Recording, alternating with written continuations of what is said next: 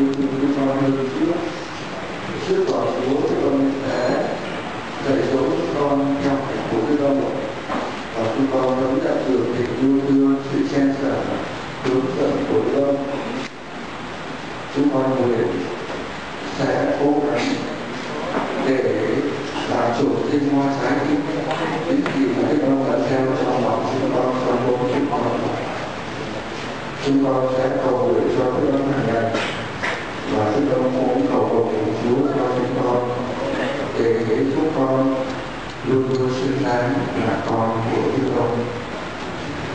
Kính thưa quý ông bà và anh chị em, để cho con được được tốt.